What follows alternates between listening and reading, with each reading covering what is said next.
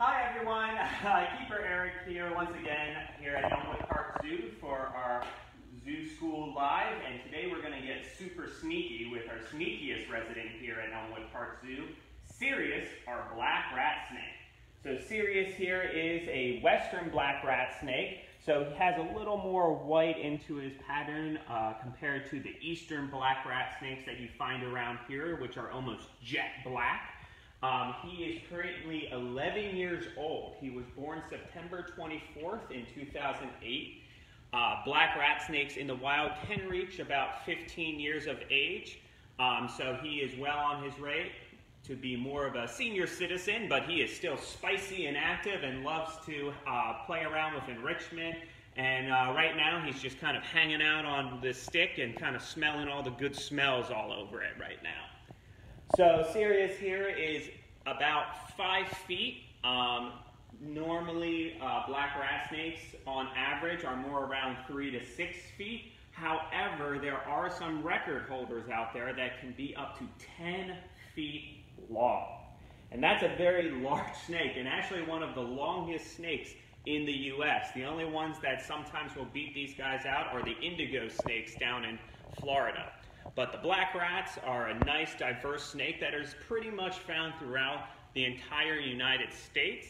Um, if not a black rat, another rat snake would most likely be found there.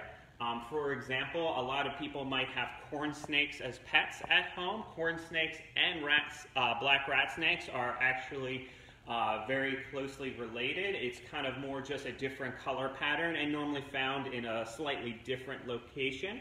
Uh, corn snakes got their name, however, uh, because they thought, oh, this snake is living in the cornfields. It must like eating corn. Uh, it's not in the cornfields because it's uh, chowing down on ears of corn. It's in there because it's uh, just like our friend here, Sirius, loves to eat rats. Now, Sirius doesn't strictly uh, eat nothing but rats, um, and his cousins out in the wild don't either. Uh, these guys will go after, when they're more full-grown adults, different mice, rats, birds, and even eggs. So as he's kind of showing off right now, um, as he's uh, just chillaxing up there. Um, they are very excellent climbers and excellent swimmers as well.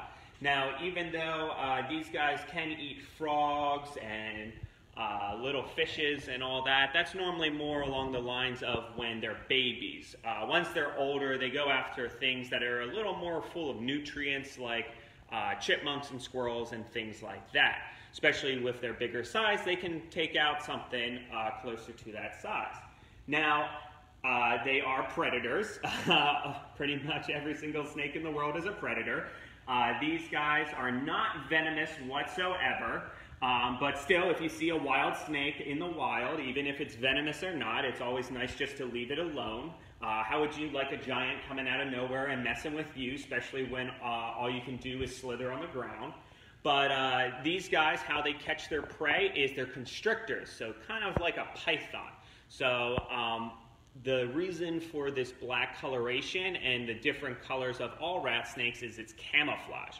So eastern black rats and western black rats um, are kind of going for uh, ambush predator kind of style, where they're going to find a nice dark area that they uh, know is a very common possible mammal trail. Um, and then they're going to wait kind of on that trail because mammals and birds and a lot of different animals uh, like their routine. So it means that normally if a mammal has walked past there once, it's probably going to walk past there again. Uh, and he'll just kind of wait there until the little mouse or squirrel comes running by and he'll strike out and then basically give it a big bear hug. And that's how he catches his prey. So uh, he also will climb trees if he smells birds or um, one of their favorites is eggs. Eggs are very nutritious for them, so it's very important that these guys will eat eggs um, fairly often. Now you might be wondering how does a snake tell if it's a mammal trail or really finds any of that food sources that I'm talking about. If you look real close, he is constantly flicking out his tongue. And yes, as many of you uh, might have guessed, that is him smelling. However, the misconception is that the tongue is actually doing the smelling. The tongue is actually bringing the smells all around him. So as he's uh, he's like, I smell that phone. I don't know about that. I'm going to kind of sneak over here and see what else I can check out. Um, so what he's doing is he's kind of sticking out his tongue and waving it in the air like he just don't care. And then he's bringing that smell in the uh, air that's stuck on his tongue into his mouth and rubbing it on what is called the Jacobson organ. Basically, uh, if you don't uh, remember the name Jacobson organ, that's perfectly fine. Just basically think of it as he got a nostril in his mouth. And basically, he's rubbing that tongue on his Jacobson organ. That way, it can smell. Now, snakes aren't actually the only animal that has a Jacobson organ. Uh, fairly common in most of your households is cats have it as well. If you guys especially have boy cats, and you ever uh, see him kind of walking around and then all of a sudden it looks like he has a big sneeze or he's making weird faces with his mouth and uh, almost uh, snarling and a little foam coming out, that's him using his Jacobson organ as well. So even though cats can smell uh, like we can with our nose, uh, for pheromones, they will use the Jacobson organ, which is a little more uh, sensitive to slight disturbances and uh, smelling the different pheromones of other cats or other uh, creatures around. Also, uh, hoofstock have it as well. Uh, when our male elk is in rut, he's constantly running around with his lip turned up and making what we call snot bubbles with his. and he likes to run around, and sometimes he splashes us with a little bit of his snot because he gets very excited during that time. So, with that being said, obviously a snake is just as cute as a kitten because they both smell the same way. Just saying. So, um, that's how these guys uh, smell. Also, they do have a lot better uh, eyesight for certain things like infrared, body temperature, and all that. That also helps them hunt and find uh, these trails. Because with that Jacobson organ, even though a mouse might have not been on that trail for, say, four days, he can still smell that uh, there was a mouse um, and that uh, it comes on this trail maybe every four days, and he can kind of judge whether or not that's an active enough trail for him to kind of sit and wait for another prey item to come by. So he is obviously a snake, and they are what we refer to as cold-blooded, which is kind of an odd way to phrase it. Really, it's not so much that their blood is actually cold. It's just they save a lot of energy by getting kind of their muscles and their internal body temperature warm from their surrounding environment.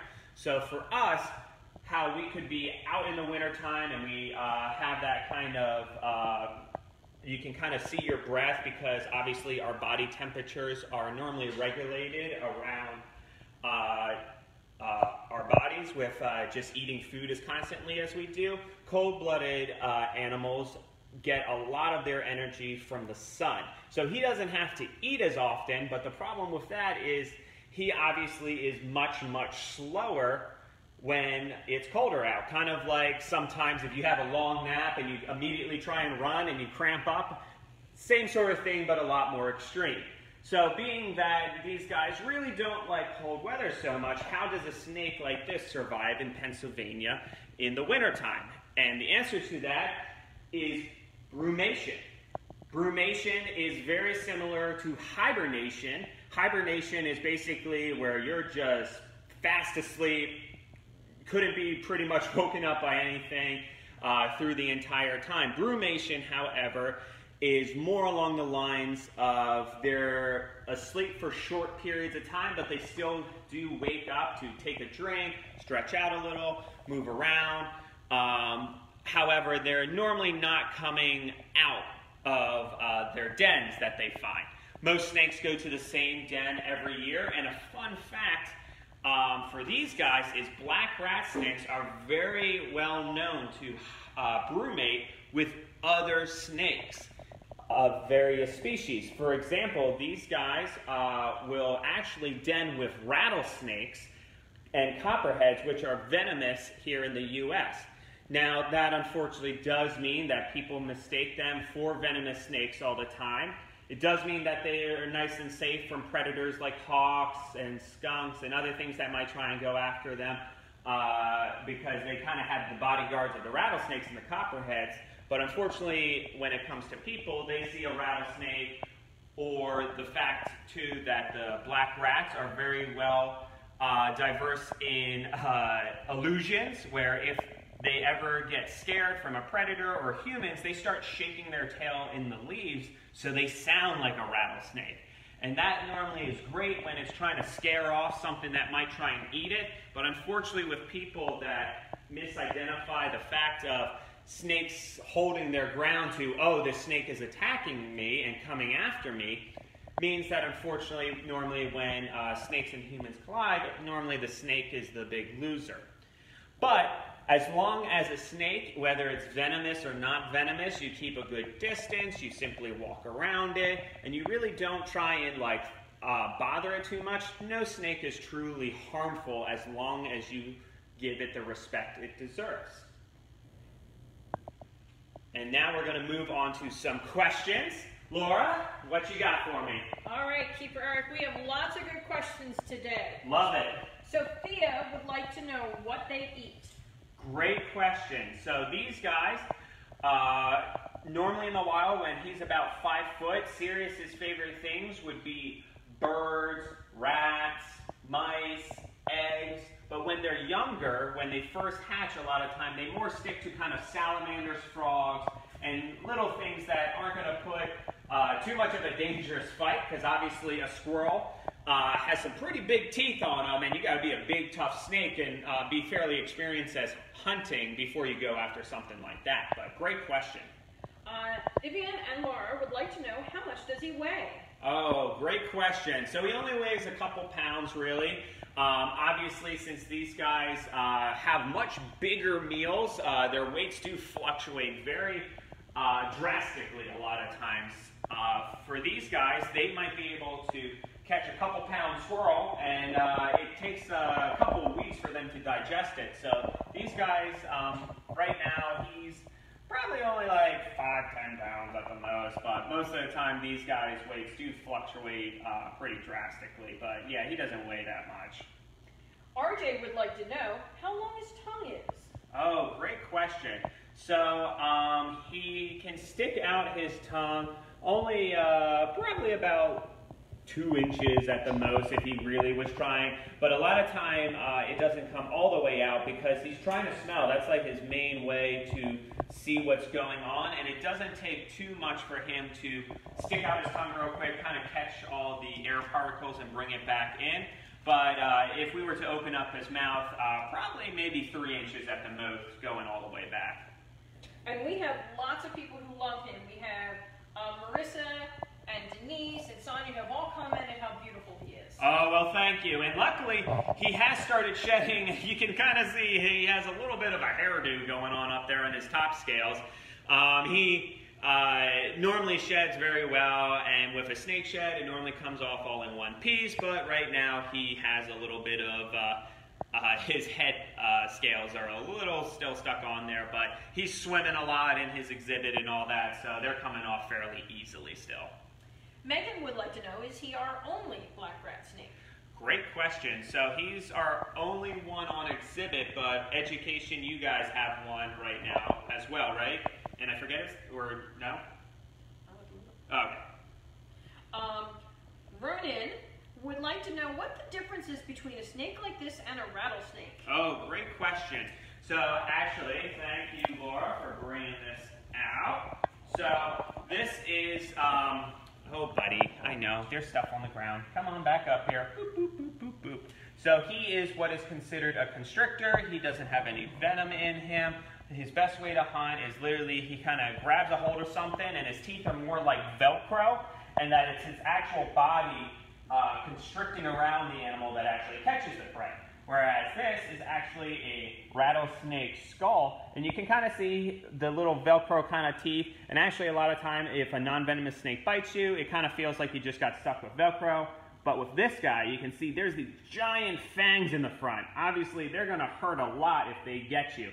So a rattlesnake, not uh, just the fact that it has that uh, classic tail at the end, um, and not all rattlesnakes actually have a rattle, but most do.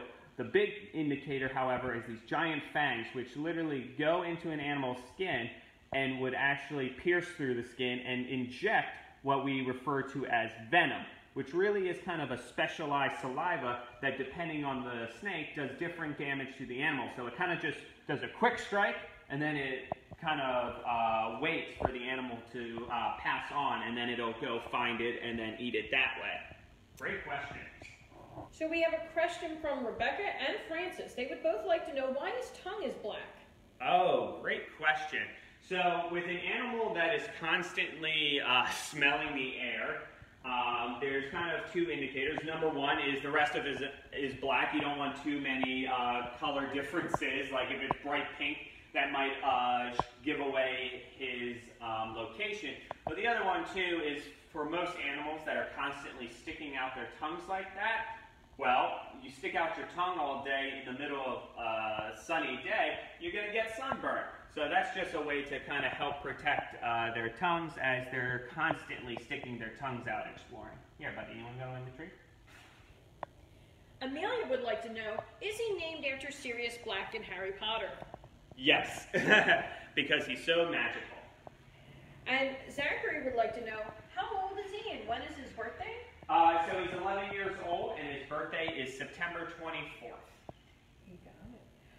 So we have somebody who would like to know, Cameron, how high can he climb? Um, however high the tree is.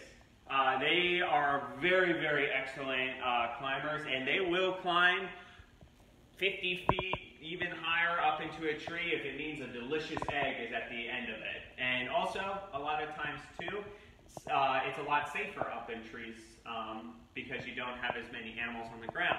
Granted, you have to deal with hawks and other birds sometimes, and obviously little birds don't just uh, sit by and let the snake try and eat their eggs. They'll try and throw them out of the tree, but he has such a great grip whenever he's climbing that even if they knock the top part of that off the tree, he still normally has a safety line attached to another branch. Faith would like to know, how long can he grow? Great question. So he, at the most, most likely just with his age, six foot if we're really lucky, but he's probably not growing too much uh, longer anymore, and he's around five foot. But some black rat snakes have hit records of 10 feet. So that's a snake that's actually going to be twice as long as he is. Gavin would like to know how often he sheds. Great question. So um, it all depends on the season. In summertime, because obviously, just like in the wild, they're more active. Even though he's in a temperature-controlled building, they still know that it's wintertime and they kind of slow down and maybe they'll shed every other month sometimes. But when they're really growing, I mean, they could shed uh, once a month, even every couple weeks sometimes. Trisha would ask, how do they have hard skin? Oh, great question. So I would not refer to his skin as really hard. As you can see, he's quite squishy uh, still. Uh, it almost feels like little seeds on kind of a squishy pillow. Uh, the scales kind of help uh, protect his skin slightly, but if a dog or something came around, uh, he doesn't have that much more protection than we do, unlike, say, a turtle. Stop trying to disappear down there. Harry, Harry would like to know what their lifespan is. Great question. So, uh, based on uh, record keeping so far, we know that on average, uh, kind of a um, good long age for them would be 15 years. Uh, but just like humans, sometimes they live a little longer, sometimes they live a little shorter. Um, not based on anything, but just the genetics of them. So Henry, who's turning 10 tomorrow, happy birthday a day early. Yes, happy birthday. Would like to know, would Monty the Python or Sirius win in a fight?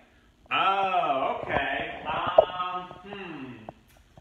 So, obviously, um, they would probably not actually really go after each other, like at all, because um, Monty the Python would actually be more interested in mammals, and Sirius wouldn't go after something so large, and actually he is quite a big friend of other snakes because the black rats do hang out with a lot of different species, but I would have to say Sirius is much quicker and more agile, but Monty's such a chunky, uh, muscular guy that uh, there's not really anything Sirius could do.